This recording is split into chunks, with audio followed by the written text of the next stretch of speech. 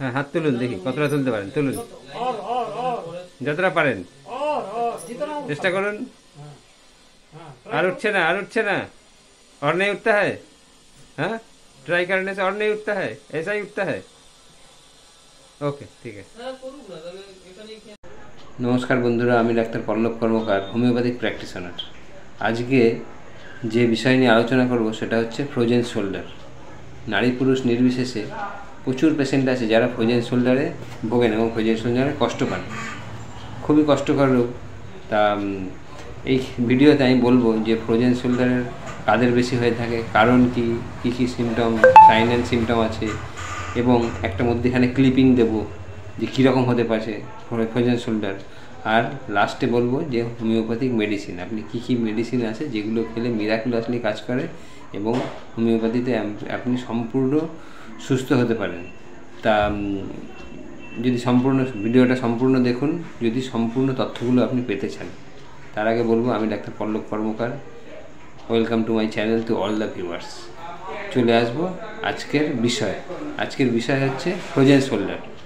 Frozen shoulder একটি খুবই কষ্টকর রোগ। এইটা পুরুষদের থেকে মহিলাদের বেশি হয়ে থাকে। এবং, ও এটা, এবং এটা চল্লিশ বছরের ঊর্ধ্বে মহিলাদের বেশি হয়। তাই পুরুষদের যে হবে না তারা পুরুষদেরও হতে পারে, তবে মহিলাদের প্রপোর্শনেটলি বেশি হয়। এটা সিম সাইন অ্যান্ড সিমটম কী থাকে? এটা হতে পারে বাইল্যাটারাল অথবা ইউনিলেটারাল মানে যে কোনো একদিকেও হতে পারে, দুদিকেও হতে পারে। সাইন সিমটম কী থাকে? কাঁধে প্রচণ্ড ব্যথা থাকে, যাতে হচ্ছে কাঁধটা তোলা যায় না। কাঁধটা পেশেন্ট দেখা যায় যে অল্প কিছু তুলতে পারছে, বেশি তুলতে পারছে না। এবং এটা স্লোলি প্রোগ্রেসিভ আস্তে আস্তে আস্তে আস্তে এই ডিজিজ হয়। হঠাৎ করে কিন্তু এই ডিজিজটা হয়ে যায় তা না। এটা হঠাৎ করে হয় তা না আস্তে আস্তে হয় এবং সেই জন্য এটা সারতেও কিন্তু সময় লাগে। এটা কিন্তু হঠাৎ করে সেরেও যায় না। এটার আরেকটা নাম ফ্রোজেন শোল্ডারের আরেকটা নাম হচ্ছে অ্যাডহেসিভ ক্যাপসুলাইটিস এর আরেক নাম অ্যাডহেসিভ ক্যাপসুলাইটিস এই নামে আপনি শুনতে পারেন তাহলে এটার কি কষ্ট হয়? পেশেন্ট এর শোল্ডারটা স্টিফ হয়ে যায়। আমাদের শোল্ডার জয়েন্টে যে ক্যাপসুল থাকে, সেটা স্টিফ শক্ত হয়ে যায়। পেশেন্ট হাত অল্প কিছু তুলতে পারে, তার বেশি তুলতে পারে না। নাড়াতে গেলে প্রচণ্ড ব্যথা, যন্ত্রণা হয় এবং এটা কিছু সিস্টেমিক ডিজিজের উপর নির্ভর করে। যেই সব পেশেন্টরা সুগারে ভুগছে মানে ডায়াবেটিক ম্যালাইটাসে ভুগছে, তাদের ক্ষেত্রে এবং thyroid maybe hypothyroidism maybe hyper thyroidism যে থাইরয়েডই হোক না কেন সুগার এবং ডায়াবেটিক সুগার এবং থাইরয়েড পেশেন্টদের ক্ষেত্রে এই ডিজিজটা বেশি হতে পারে। তাহলে ম্যানেজমেন্ট কি আছে? ম্যানেজমেন্ট হচ্ছে আপনাদের কিছু ব্যায়াম করতে হবে। কিছু ব্যায়াম আছে সেইগুলো আপনারা ইউটিউব সার্চ করে দেখে নিতে পারেন। কিছু ব্যায়াম আছে, যেইগুলো করলে আপনি অনেকটাই ভালো থাকবেন।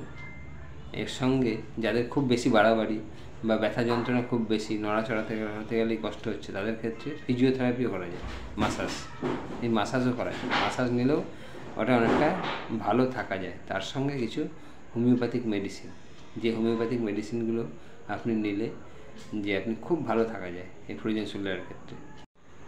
এখন আসব মেডিসিনের কথায় হোমিওপ্যাথিক মেডিসিন যেটা খুবই গুরুত্বপূর্ণ আলোচনা। হোমিওপ্যাথি বেশ কিছু মেডিসিন আছে যেগুলো আপনি খেলে ফ্রোজেন শোল্ডারে মার্ভেলাস কাজ হয়ে থাকে। তার মধ্যে নাম্বার ওয়ান যদি বলা হয় নাম্বার ওয়ান হচ্ছে রাস্টক্স তাছাড়াও আরও কিছু মেডিসিন আছে রুটাজি bryonia sanguinaria ferrum met causticum thuja medorrhinum syphilinum এছাড়াও আরও কিছু মেডিসিন হতে পারে। তাহলে homeopathic medicine actually we homeopath আমরা কি করি? We treat the patient not the disease আমরা রোগের চিকিৎসা করি না, রোগীর চিকিৎসা করি। তা জন্য কেস টেকিং করার পর আমরা একজন রোগীকে ঠিক যে ওষুধের রোগী বলে মনে হবে, আমরা সেই ওষুধটাই তাকে প্রোভাইড করব এবং সেই ওষুধটা তাকে সব দিক দিয়ে ভালো রাখবে। সেই ওষুধই দেওয়া হয়। তবে কিছু মেডিসিন যেগুলো আগে বললাম, সেইগুলো কিছু মেডিসিন আছে যেগুলো এই আফটার কেস টেকিং বেশি আসতে পারে, বেশি পরিমাণে আসে। যে ওষুধগুলোর কথা বললাম, এইগুলো বেশি পরিমাণে আসে। এই ওষুধগুলো যদি একজন ফ্রোজেন শোল্ডারের পেশেন্ট আসে, তাদের ক্ষেত্রে দেখা যায় যে একশো জনের মধ্যে আশি জনের ক্ষেত্রে এই মেডিসিনগুলোর মধ্যেই ঘোরাফেরা করে। তাই এই মেডিসিনগুলোর নাম বললাম। এছাড়া যে অন্য কোনো মেডিসিন নাও আসতে পারবে না বা আসবে নয়, এরকম কোনো ব্যাপার নেই। অন্য কোনো মেডিসিনও আসতে পারে। তাহলে প্রথমে আসব রাস্টক্স তাহলে রাস্টক্সে আমরা কী লক্ষণ দেখব? দেখব রাস্টক্সে যে শরীরে ডান দিক দিক যেদিকে খুশি হতে পারে পেশেন্ট হাত তুলতে পারছে না। হাত তুলতে গেলে অনেকটা তুলতে পারছে, আর তুলতে পারছে না।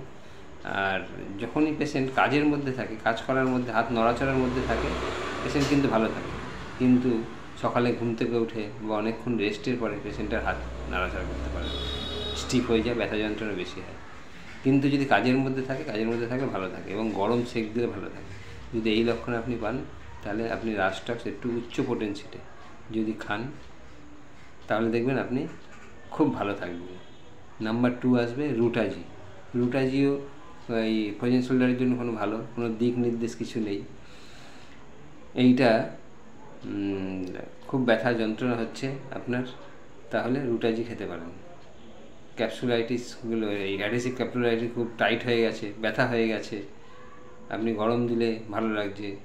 সেখানে রুটাজি খুব ভালো কাজ করে। নাম্বার থ্রি ব্রাউনিয়া ব্রাউনিয়া হচ্ছে লক্ষণগুলো কি দেখবেন? লক্ষণগুলো কী পাবেন? ব্রাউনিয়ার পেশেন্টের ঠিক রাস্টাক্সের উল্টো লক্ষণ। রাস্টাক্সে আপনারা যেমন দেখেছি যে কাজ করলে, কাজের মধ্যে থাকলে পেশেন্ট ভালো থাকে, রেস্ট থাকলে তারপরে বেশি হয়। ব্রাউনিয়া ঠিক উল্টো। যখনই পেশেন্ট রেস্টে থাকে, খুব ভালো থাকে। কিন্তু একটু নড়াচড়া করতে গেলে, একটু হাত তুলতে গেলে প্রচণ্ড ব্যথা যন্ত্রণা হয়। এবং গরম দিলে ভালো লাগে। সেইখানে ব্রাউনিয়া খুব ভালো কাজ করে। অবশ্যই মনে রাখবেন ব্রাউনিয়া নাম্বার ফোর হচ্ছে স্যাঙ্গুনেরিয়া ক্যানাডেন্সিস স্যাঙ্গুনেরিয়া ক্যানাডেন্সিসের ক্ষেত্রে দিক হচ্ছে ডান দিক। এটা বাঁ দিকের ফ্রোজেন শোল্ডারের থেকে ডান দিকের ফ্রোজেন শোল্ডারে বেশি কাজ করে এবং সকালে উঠলে বেশি হয়, নড়াচড়া করতে পারে না। এখানে স্যাঙ্গুনেরিয়া ক্যানাডেন্সিস ফেরামমেট তারপরে ওষুধ ফেরামমেট হচ্ছে এটা আবার লেফট সাইডের মেডিসিন ডান দিকে ফ্রোজেন শোল্ডার থেকে বাঁ দিকের ফ্রোজেন শোল্ডারে ফেরামমেট ভালো কাজ করে। স্যাঙ্গুনেরিয়া যেমন ডান দিকে ফেরামমেট বাঁ দিকে। বাঁদিকে যদি ফ্রোজেন শোল্ডার হয়, তাহলে ফেরামমেট দিয়ে দেখুন তার সঙ্গে যদি পেশেন্ট অ্যানিমিক হয় পেশেন্টের রক্ত অল্পতা থাকে, সেখানে আরও বেশি ভালো কাজ করে। তারপরে আসছি কোষ্টিকাম কোষ্টিকাম রাইট সাইডের মেডিসিন ডান দিকের মেডিসিন কোষ্টিকামের লক্ষণ দেখতে গেলে দেখতে হবে যে পেশেন্ট চিলি পেশেন্ট শীতকাতুরের পেশেন্ট এরা মিষ্টি খেতে একদম পছন্দ করে না। এরা নোনতা, লবণ খেতে খুব পছন্দ করে।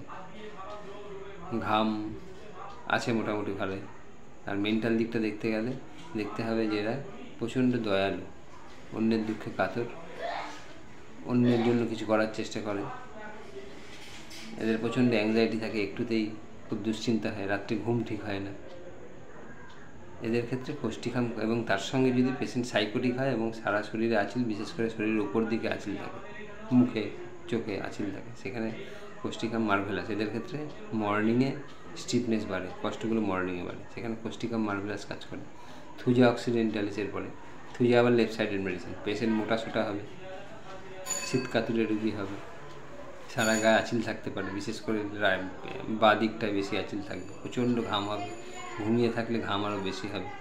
নুন, নোনতা খাবার, তিতো, এগুলো খেতে ভালোবাসবে পেশেন্ট পেশেন্ট এইগুলো যদি দেখেন এবং সাইকোটিক পেশেন্ট হয়, তাহলে অবশ্যই থুজা দিন থুজা দিলে মার্ভেলাস কাজ পাওয়া যায়। এরপরে আসলাম মেডোরিনিন, এটি একটা অ্যান্টিসাইকোটিক মেডিসিন এই পেশেন্টরা আবার হট পেশেন্ট হয়, এদের গায়ে গরম বেশি লাগে, শরীরে জ্বালা থাকে, জল তেষ্টা প্রচুর থাকে, এরা স্বপ্ন দেখে, মানুষ উড়ে যাচ্ছে।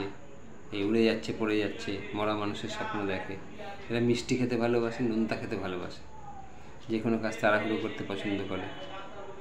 যদি এই সিমটমগুলো পান এবং এটা যেদিকেই হোক না কেন, বাদিক হোক বা ডান দিক হোক বা দুদিকেই হোক মেডোরিনাম দুদিকে যদি পজিশন শোল্ডার হয়, সেখানে ভালো কাজ করে।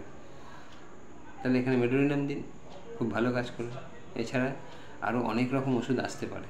আমি বলেছি প্রথমেই to treat the patient not the disease সেই জন্য ওষুধ কোনটা আসবে সেইভাবে বলা যায় না। এটা কিছু বললাম যেগুলো বেশি পরিমাণে এসে থাকে। এই ছিল আজকের ভিডিও। যদি ভিডিওটা আপনার ভালো লাগে অবশ্যই লাইক দেবেন, শেয়ার করুন, শেয়ার করে আরও মানুষকে জানতে সুযোগ করে দিন। আর অবশ্যই ব্যায়াম করবেন। প্রয়োজন শোল্ডারে কিন্তু ব্যায়াম এক নম্বর, অবশ্যই ব্যায়ামগুলো করবেন। একটু একটা ইউটিউব থেকে দেখে নেবেন ব্যায়ামগুলো। ব্যায়াম করবেন। আর যদি এখনও পর্যন্ত আপনি এই চ্যানেলের একজন সাবস্ক্রাইবার না হয়ে থাকেন অবশ্যই সাবস্ক্রাইব সাবস্ক্রাইব করে নিন চ্যানেলটা এবং বেল বাটনটি করে দিন। তাহলে এইরকম ইনফরমেটিভ ভিডিও আমি যখনই আপলোড করব, আপনি প্রথমে নোটিফিকেশান পাবেন। তা এইখানেই শেষ করলাম, দেখা হবে পরের ভিডিও নমস্কার।